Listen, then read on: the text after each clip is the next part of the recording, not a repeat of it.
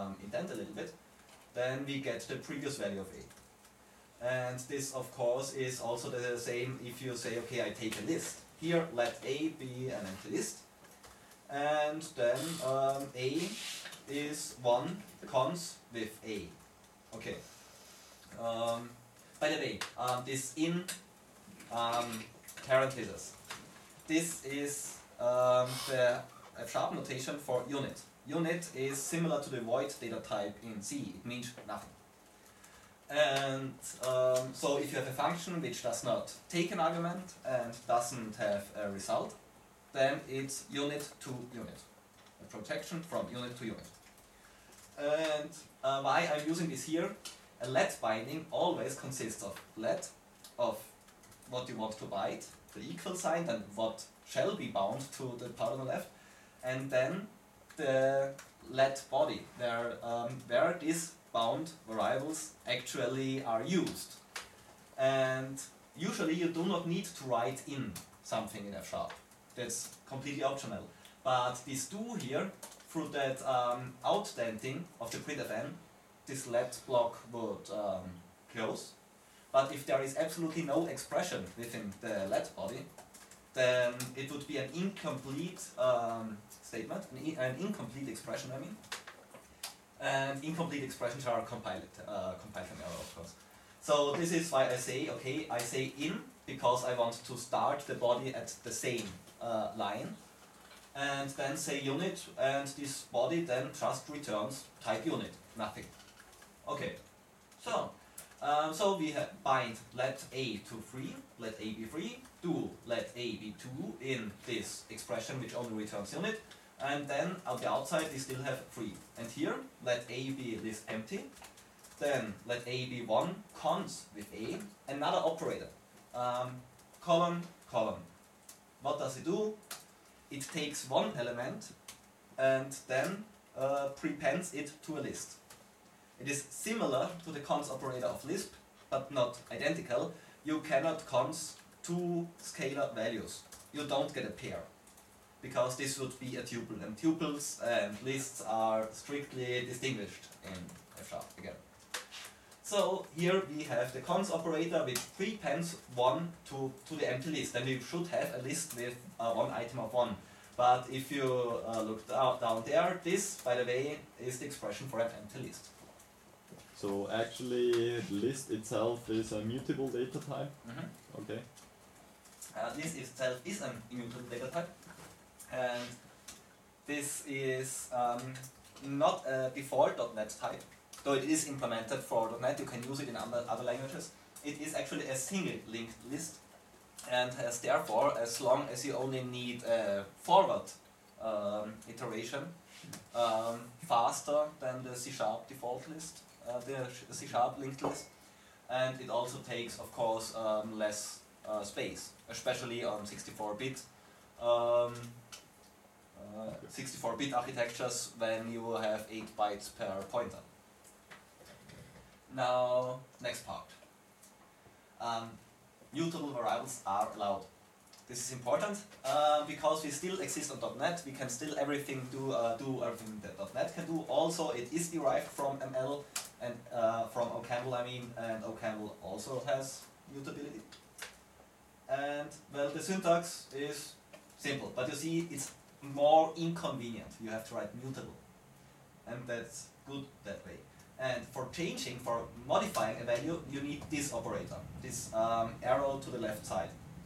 Um, this of course only compiles if it is actually a mutable value.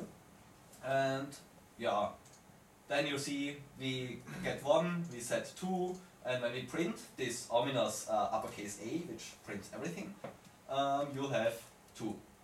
So, um, you typically won't use mutable values very much. For a very simple reason. Well, first, it is a function programming language which is convenient to write uh, with immutable types. You do have immutable collections. You have an immutable map. You have an immutable list. Uh, list. And just uh, two months ago, Microsoft, the um, framework team, um, published uh, their immutable collections library, which includes stacks, queues, um, ordered map, unordered map, ordered set, unordered set, and a few other types too, and those, well, those are uh, well optimized immutable collections. But of course, immutable collections have um, some disadvantages. They, at depending on what you do, they perform worse. Um, that's of course not true all the time. And for instance, is it not true? If you have, uh, if you use multithreading, and you need a snapshot semantics. For instance, you have a list, or you have a collection of observers for some uh, type that, um, well, um, triggers uh, whenever it updates. Then um, an immutable uh, collection, you can just take this value and iterate over it and trigger all the observers that are registered. If you have a mutable collection, then you first need, well, either to lock it or to copy it, uh, or have some other kind of um, stable iteration mechanisms under modification, and all of those usually are, well, perform quite bad. So it um, depends, of course, on what you want to do. Um, for most things, um, the performance is not a problem. Only you should know, for instance, a list insert mutable collection is um, is uh, O of one. It's in constant time. With a mutable collection, it's usually uh, logarithmic uh, with the length of the list because it's internally built as a tree, so that it provides um, efficient updates, if, efficient insertion, but it's still not in constant time.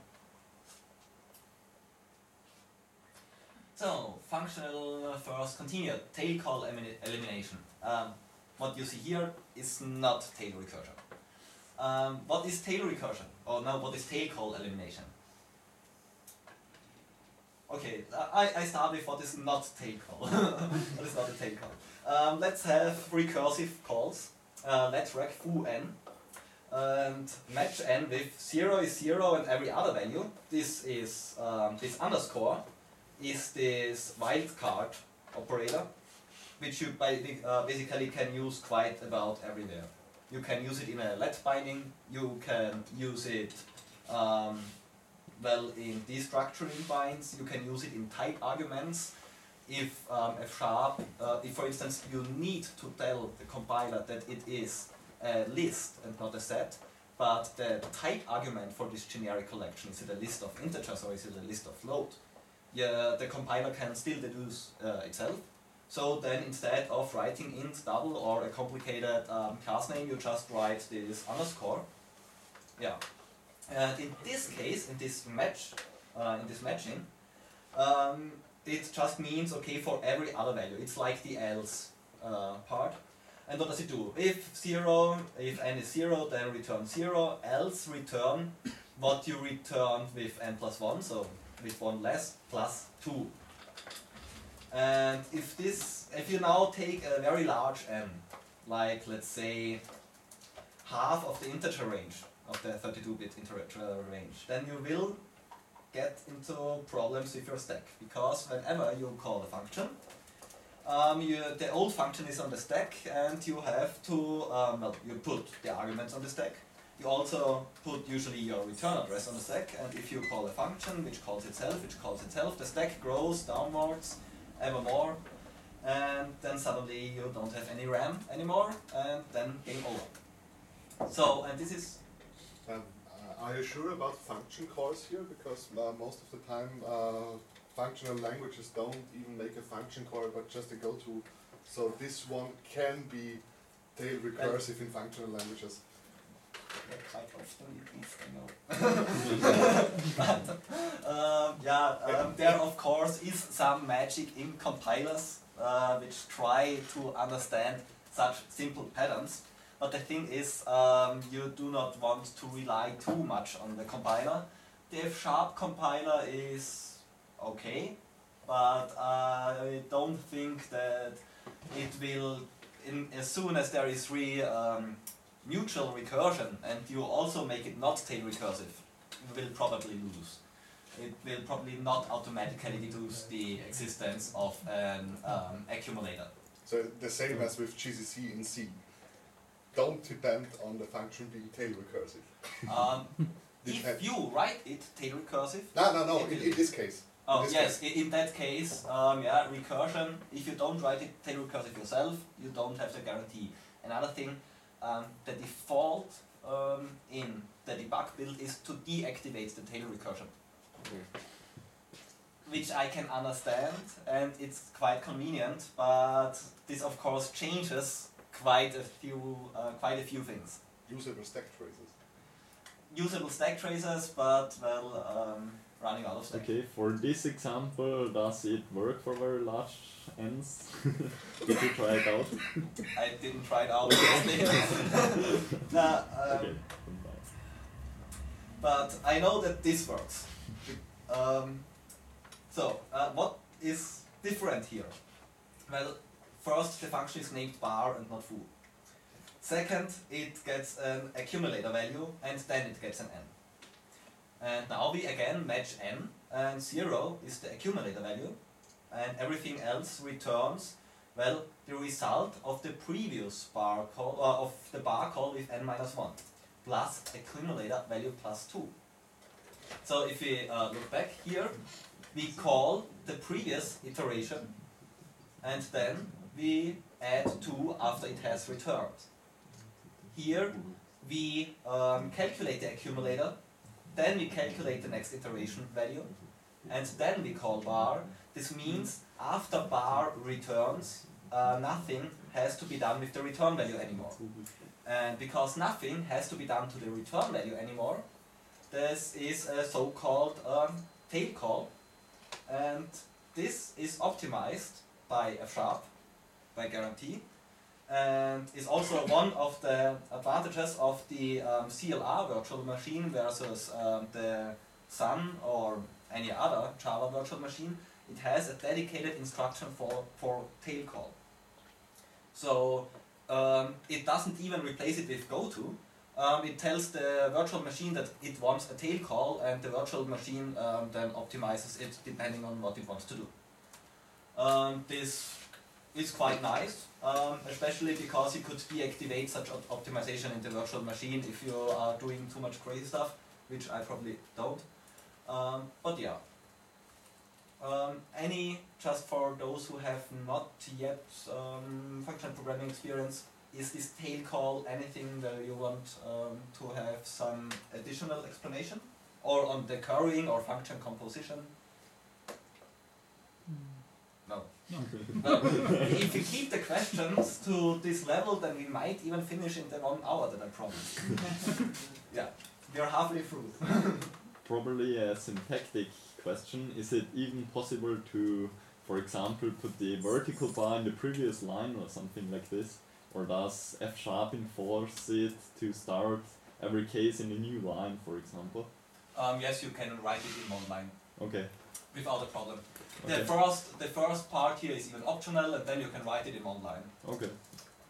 Um, also, all the examples that you see is the so-called light syntax of F sharp, Mhm. which is heavily inspired by Python, um, because indentation is um, significant. Um, but it's still completely compatible to the old um, not light um, syntax, which is uh, much more similar to what you know from traditional ML style languages, where you have an if and an and at the end, or you have a do block and an and at the end, or you have um, um, semicolon semicolon at some end, and you can still write in that. And sometimes you even use it if you really have so if you if you really just want those twenty characters in one line. But um, well, in this case, you wouldn't even need that. You could just um, continue on the same line. Um, yeah, but I said at the beginning it's not. Um, ah, yeah, just because I see here the, the link um, example from Batibix. Um, almost all those examples were not from me because I was searching for examples which are easy to understand, and I am not good at understanding, uh, understanding, explaining uh, things in an easy way. So um, if somebody gets the slides um, where I got those examples from, um, is always linked. Yeah, although I, sometimes or usually uh, change them a little bit. Okay, but multi-paradigmatic, imperative style. You can use imperative, of course, also. Um, what does this mean you have for loops, you have while loops, you have